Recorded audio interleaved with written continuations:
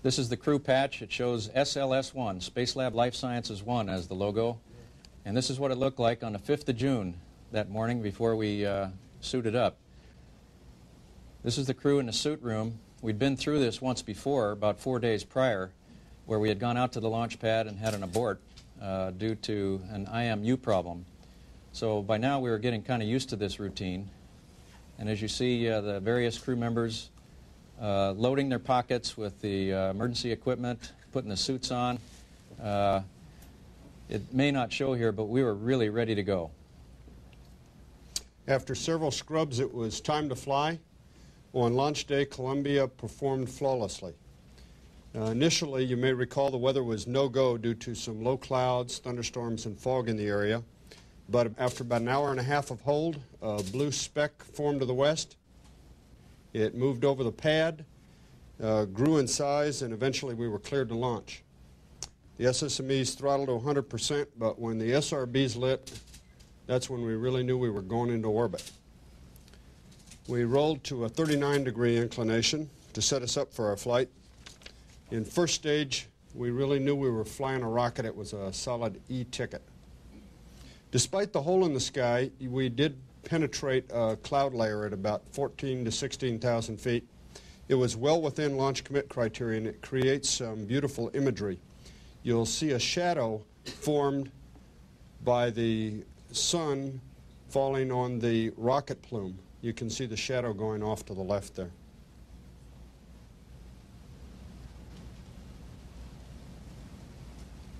We opened the payload bay doors about two hours after launch to reveal just a spectacular view of the Earth. Um, we also have a clear view of the Space Lab in the payload bay. Uh, the Space Lab was affectionately deemed slave quarters about halfway through the mission. After we had configured the orbiter for space activities, we got to work uh, activating the Space Lab. We spent about two hours setting up, checking out uh, the environmental control system, the computers, and the communication systems. You'll see Sid as he heads back across the tunnel that we had to open uh, to get back into Space Lab. Uh, after we uh, performed the activation, we got to work on setting up all of the uh, experiment hardware itself. Here you get to see the first view of the first uh, working laboratory in space dedicated to the life sciences.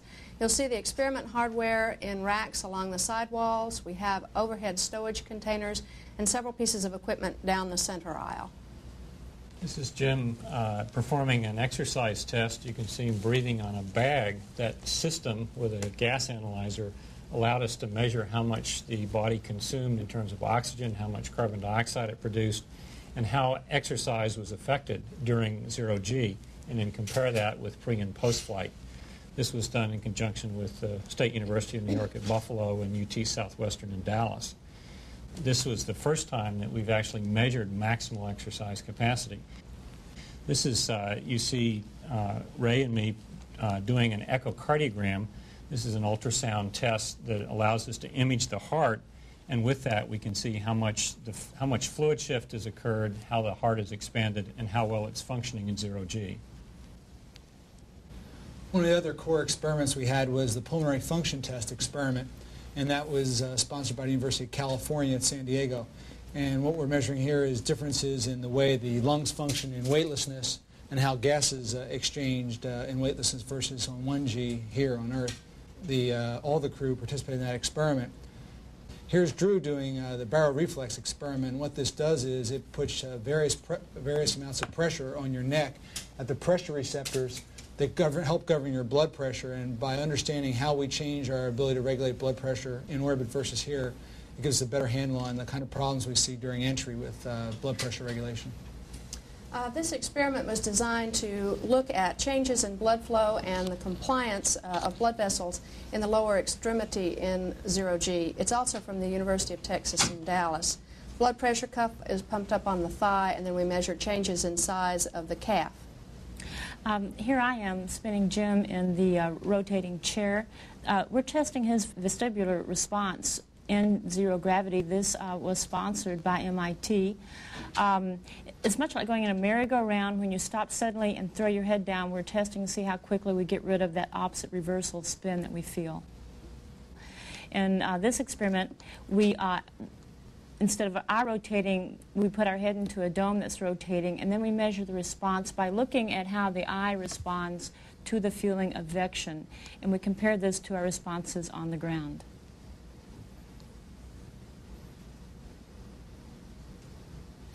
The orbiter crew members uh, volunteered to participate in a number of Space Lab experiments. We renamed them for simplicity. This particular experiment is officially called BMMD, or Body Mass Measuring Device. We called it Weighing Yourself. Uh, several other experiments, uh, the one you recall with the collar, we renamed that one uh, Suck on Your Neck. It was officially the baroreflex. And the pulmonary function test we called Blow in the Pipe. One of the advantages to working in space is the short drive time between uh, your work and your home.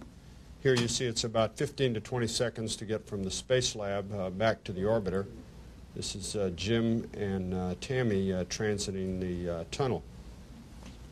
In addition to the primary experiments, we conducted many secondary experiments, including 12 getaway special or gas cans. They were activated from the flight deck, but they were actually located back behind the space lab. They included investigations of material science, plant biology, and cosmic radiation. One of the other things that we in the orbiter crew spent a lot of time doing during the mission was measuring the uh, air quality. This is one of several experiments that uh, gathered in air samples and looked for things like microbes and uh, particles. We also checked the, uh, the sound levels in the vehicle. This is Sid. Looks like he's looking for water, but he's not. What he's doing is measuring the sound levels, and we did this on the flight deck, the mid deck, and also back in the space lab. On day seven, we conducted the Orbital Acceleration Research Experiment. We flew a number of maneuvers, including a loop, aileron roll, and a 360 degree flat turn. I'll challenge some of the pilots on Earth to match that last maneuver. We were studying the performance of a miniature electrostatic accelerometer device. We also installed an improved uh, filter to uh, help the performance of the humidity separator. It was located under the middeck or down in the pit, as we called it, and this yielded some surprising information about fluid flow in a zero-G environment. Bryan and Sid are here preparing to do some Earth observations. We photograph the land, the water, and the clouds, not just for aesthetic reasons, but for the wealth of scientific data the photographs contain. Here we're passing through the Strait of Gibraltar. Um, we're going obviously west to east, and on the left-hand side you see Spain, and the right-hand side uh, is Morocco. The Mediterranean Sea is in the, in the distance. Here we have a very nice view of southern Italy, including the island of Sicily.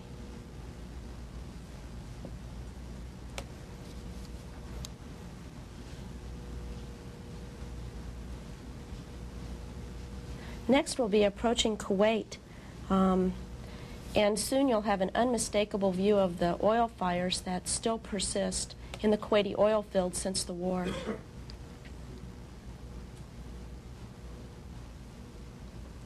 Since I live in San Francisco, the California coastline was one of my favorite views out the window. And UC Berkeley was also another favorite view for all of us since many of us went to UC Berkeley. Down the peninsula, we can see NASA Ames Research Center that had a lot of the uh, research uh, animals on board. And coming up in the distance, uh, you can see just about center of the screen to the right is uh, the dry lake beds and the Edwards complex there, which we were going to land at about uh, four days from the time we took this photo. Here's the East Coast coming up, and we're, there's the Appalachians just going by the edge of the payload bay. You can see the Chesapeake Bay near the center right at the bottom, and the Delmarva Peninsula above that. You can see New Jersey, Delaware Bay, and up to the Philadelphia area, Manhattan Island, Long Island, and all the way up, in fact, to uh, Cape Cod, and that was a pretty nice sight. One of the uh, hardware test objectives that we flew on this flight for the Ames Research Center was to see if particulates and liquids could be contained within this general purpose workstation.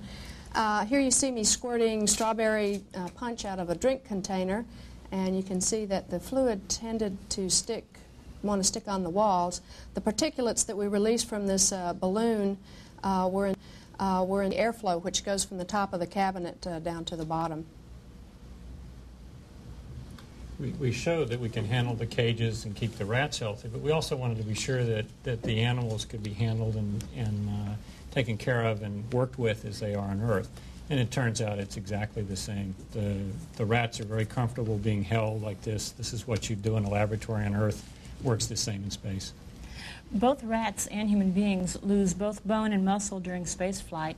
And during our flight, we took many samples of blood in order to test the changes in the hormones in, in our blood systems during flight. And we believe that that perhaps is part of the reason we're losing the bone and the uh, muscle during flight. And that was a nice exchange of tubes.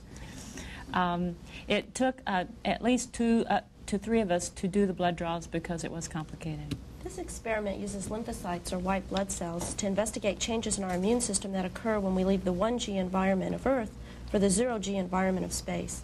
Here we're injecting the cultures with a mitogen that promotes cell division, and by comparing our 1G control cultures in our centrifuge with our 0G cultures, we can determine if lymphocyte proliferation is decreased when you go to orbit and thereby may adversely affect our immune system. Um, as many of you know, we had some trouble with the refrigerator and freezers during our flight, and, and here's a picture of um, Jim and Sid cleaning the filters in order to help the refrigerators and the freezers work more efficiently. Uh, this is where we put our blood samples, so it was a very important event to keep them running.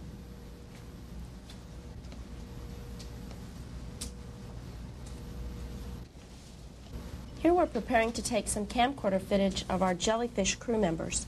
Um, jellyfish contain gravity receptors that are analogous to the otolith organs in the inner ear. And by taking a look at the behavior of the jellyfish, whose gravity sensing organs have developed in zero G, we can compare that swimming behavior um, to their 1G counterparts.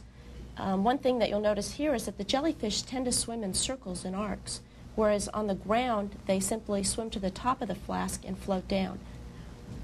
This is a test of the medical restraint system um, for possible use on space station. My brave patient Sid here is allowing his astrophysicist to, to test his reflexes. I told Sid if he didn't move his knee, I'd just have to hit him harder the next time. So he became more cooperative. And this is simply a demonstration of uh, performing CPR in zero G. It is quite feasible. Um, this is Resusci Anne that I'm performing the CPR procedure on, and she is uh, strapped to the mid-deck lockers. The breaking of bread in space took on added meaning on this flight since we were keeping track of uh, all of our liquid and fluid intake uh, for the metabolic studies that uh, uh, we were doing. We've kept track of everything that we've taken in from a few weeks before flight up until the present time. Uh, we're looking at changes in nutrient metabolism and in, probably in food preferences too. Here we are uh, at a typical dinner beginning to chase our food around. And of course, it was always a challenge even to try and stay clean on a nine day flight without a good shower. Here, Drew is uh, shampooing his hair with a waterless shampoo that uh, we had on board, and it worked pretty well, at least for people with short hair or no hair. They, yeah, I'll vouch for that. They, uh, they had warned us that, you know, that we know that various orbiters have slightly different sounds to them, and uh, about midway in the mission, uh, we noticed a, a, sound emanating, it seemed like from, we weren't sure where in the middeck, and trying to discover what it was, and Bryan was, and Bryan, they seemed to finally locate it down in the LIO uh, storage area there. But it turned out that for some reason, Sid was down there. well, once we had solved that problem about what was causing the noise, uh, we really weren't too worried about it, so kind of just buttoned it back up and went back to work. Uh, about the sixth day, everybody was uh, ready for a little bit of recreation, and we uh, knocked the bike back down in the stove position, and everybody kind of went back for a little bit of gym time back in the space lab. And here you'll see what we think is probably the the world's record and probably for the solar system too, the number of people on someone's back doing a push-up. Uh, Sid's on the bottom uh, and Drew's on the top, and you can see Sid really pumping these push-ups out. But we think it was probably tougher on the people near the top, like uh, Drew and myself, as we were slamming into the lockers on overhead. And uh, we did not stop because of Sid's lack of stamina, but rather Drew's uh, pain threshold and my own, probably.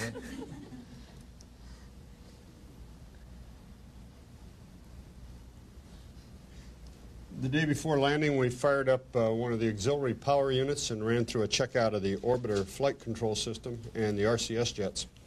Since brushing your teeth in zero G is difficult at best, we made uh, liberal use of chewing gum to facilitate working in close quarters.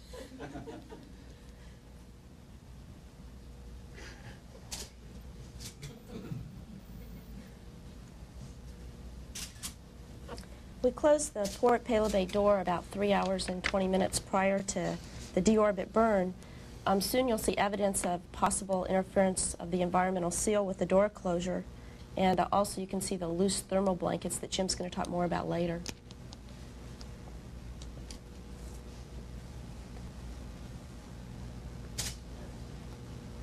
Then came entry day, and, or entry time. We all got dressed in our orange suits. This is Jim, who was rotating back and forth between middeck and flight deck, helping uh, people get in their suits and so on.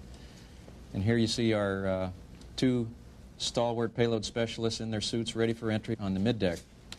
This is a shot taken out the top of the window, and you can see that uh, phantasm that other people have reported where the uh, ions are recombining behind the vehicle as you come down through the atmosphere, and you can see the reflection off of Sid's back there. We came down through entry, did several aerodynamic uh, test inputs. The winds were nice, and we were scheduled to land on runway 22, the concrete runway at Edwards. One of the things that we had to do on this landing was to land a little faster than normal because we were a heavyweight vehicle. And also we did a uh, high-speed nose wheel steering test uh, to open up the envelope for the nose wheel steering system on the uh, shuttle. As the nose comes down, you can see the big speed brakes out there on the top of the shuttle to help slow it down. One of the things you probably saw on this flight different from all the other shuttle flights is that we didn't walk down the stairs out of the vehicle. This uh, crew transport vehicle, which is an airport transfer bus, was outfitted um, so that we can get the crews out very quickly, get them changed, and start doing medical tests and look at the condition of the, of the crew immediately on landing instead of the 45 to 90 minutes that it usually takes. This is really going to help us in the future to get the crews out quickly and get the medical studies that we need for planning our longer duration flights. Plank was not used. Well, we're hearing from the scientists that we had a very successful mission scientifically. This is our crew when we posed for our picture uh, months before the launch. The smiles reflect how we feel today about this flight and all the people that helped support it and make it go.